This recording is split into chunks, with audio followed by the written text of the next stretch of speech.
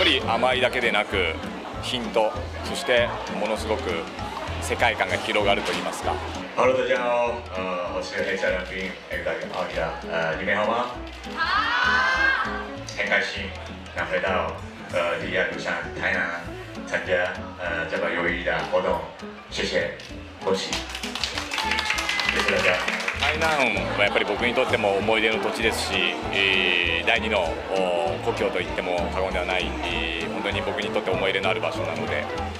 あの帰ってきて、えーとても嬉しい気持ちと懐かしい気持ちが混ざってます。5周年なので、ジリー様にサプライズ用意してますが。そうですね。毎回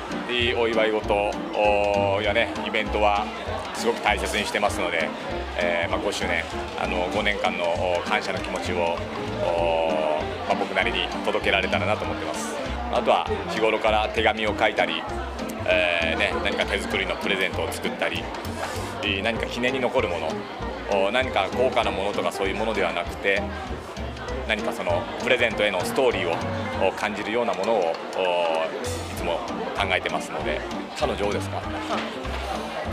うん。やっぱり甘いだけでなくヒントそして何ですかねこうものすごく世界観が広がると言いますか、まあ、食べた瞬間に口の中でね広がるのと一緒ですごく深みのある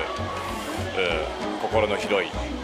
そんな表現が近いんじゃないですかね。嬉しいという思いもあるんですけども本当ピージンジャンジーというね本当タイトルの通り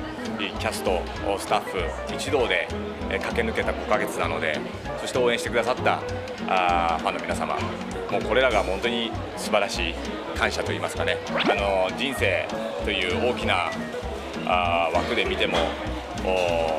いい人生にするのも悪い人生にするのも全て自分次第なので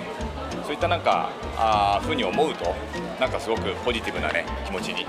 失敗がしたらあ次はあじゃあ成長しようとか、うん、何かダメなことがあったらあ自分のね力が足りなかったんだなとかそういうふうに全て自分次第と思うとポジティブな気持ちになります。そういう全てを知っていただけてよかったです。